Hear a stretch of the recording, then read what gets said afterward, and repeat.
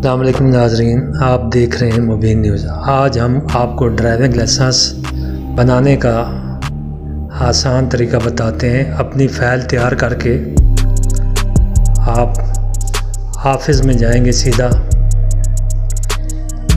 Office में में जब आप पहुँच जाएँगे तो यहाँ पे आपके फ़ाइल, आपका नाम लेके आपको बुलाया जाएगा, क्योंकि ये ऑनलाइन टेस्ट होता है। कैमरे के सामने आपने अपना नाम बताना है और फिर कंप्यूटर के आगे बैठ जाना है। इस कंप्यूटर में दस सवाल होंगे, जिसमें से छः सवाल ठीक जवाब देने पर आपको ये टेस्ट आपका पास हो जाएगा।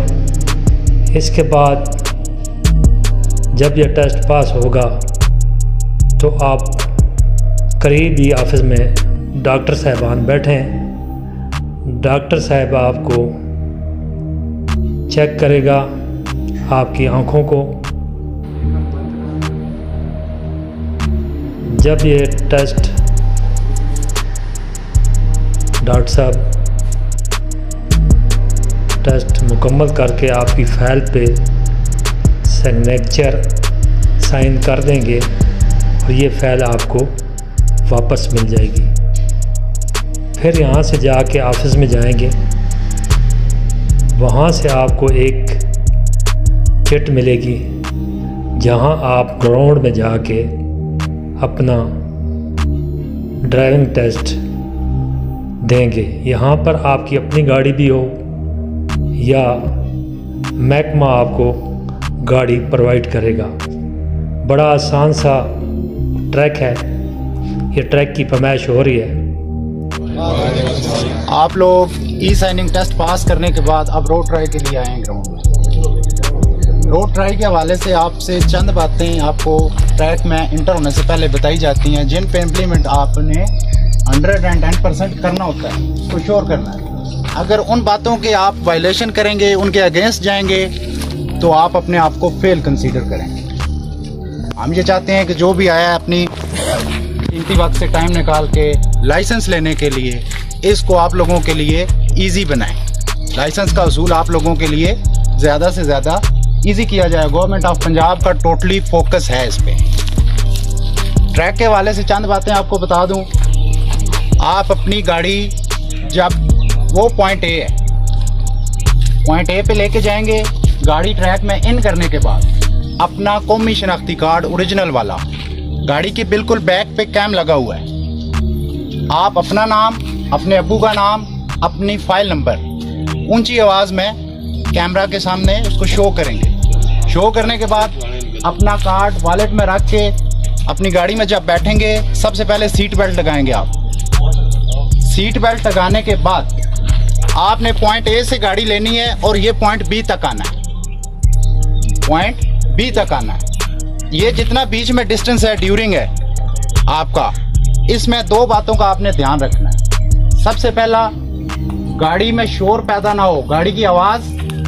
ऐसा ना हो कि हाफ़ क्लच पुश हो एक्सीटर आपने पाँव दबा के रखा हो तो गाड़ी की आवाज़ कहाँ से कहाँ जा रही हो, वो बंदा भी फेल कंसीडर होगा।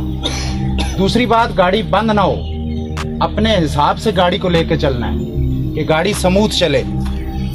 पॉइंट बी तक आप जब पहुँचेंगे, आपको अलाउ है, इजाज़त है, आप अपना लेफ़्ट राइट मिरर अपने हिसाब से एडजस्ट कर लो।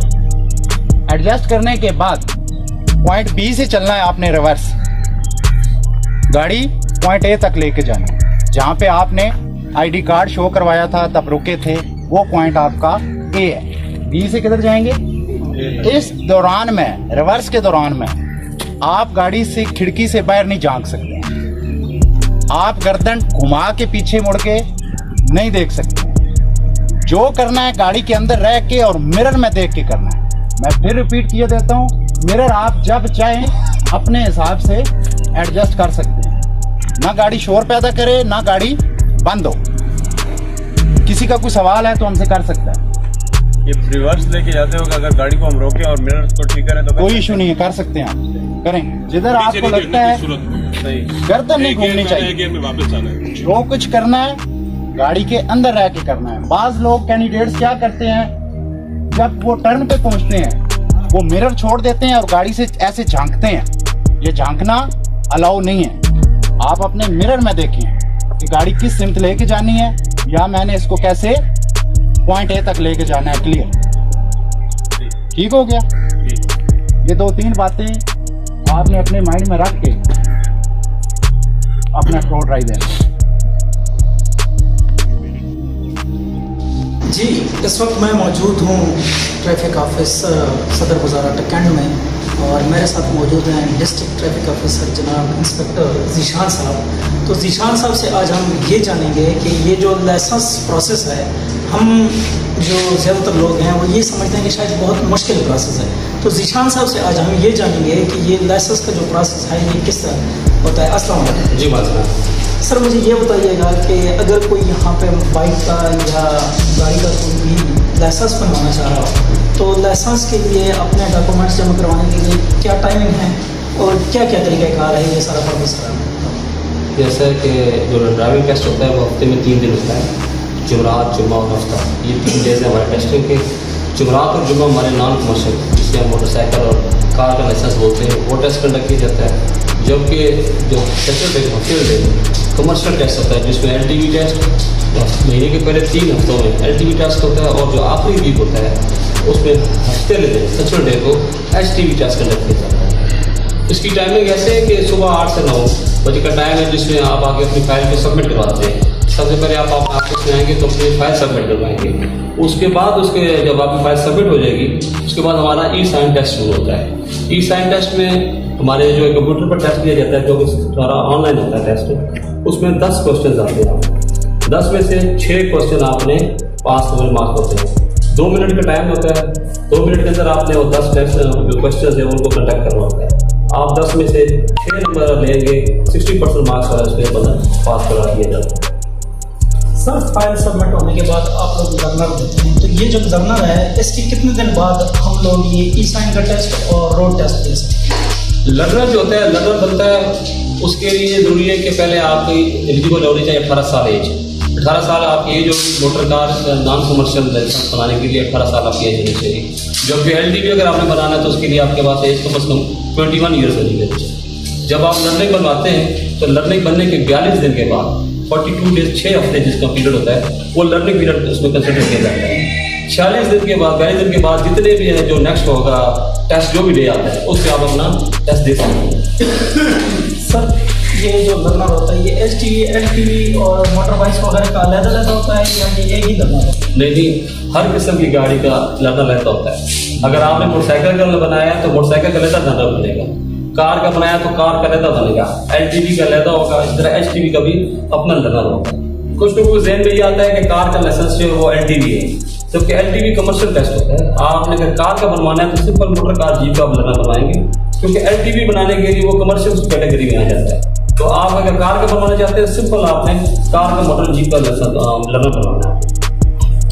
सर, ये जो लर्नर के बाद प्रोसेस आ जाता है कि यहाँ जब बंदा ई साइन टेस्ट पास करता है और उसके बाद रोड टेस्ट पास करता है तो फिर उसके बाद क्या प्रोसेस होता है? यहाँ ऑफ़िस में आप लोग फ़ाइल पकड़ा देते हैं, वो यहाँ आते हैं। तो यहाँ पे जो सर प्रोसेस होता है, वो क्या होता है और ये कितने टाइम का होता है? देखिए, जो बंदा पहले सी ई टाइम टेस्ट पास करता है, उसको हम अपने ग्राउंड में भेज देते हैं, जहाँ हमारी रोड लाई जाती है। जो बंदा वहाँ से कामयाब होता है तो उसको हम फ़ाइल साइन करके अपने ऑफ़िस यहीं पे भिजवाते हैं, जहाँ पे आपने साइन टेस्ट दिया होता है।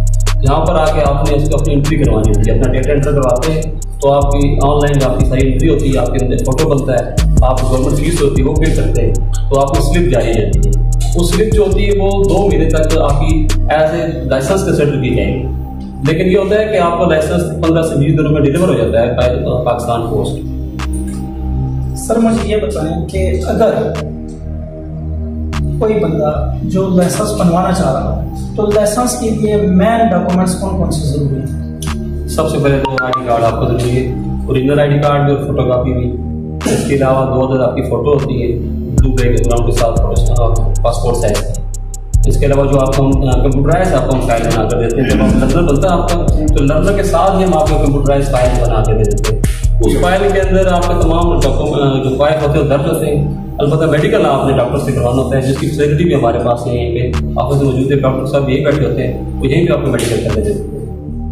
तो सर यहाँ पे जो डॉक्टर साहब बैठे हुए हैं तो उनकी सर कोई फ़ीस भी है या कि वो किसमें बैठे जी जी वो गवर्नमेंट की प्रॉपर फ़ीस है वो उसको स्लिप जारी करते हैं हंड्रेड रुपीज़ वो चार्ज करते हैं इसकी जो मेडिकल फ़ीस होती है उसके अलावा गवर्नमेंट की स्लिप जारी की जाती है। बहुत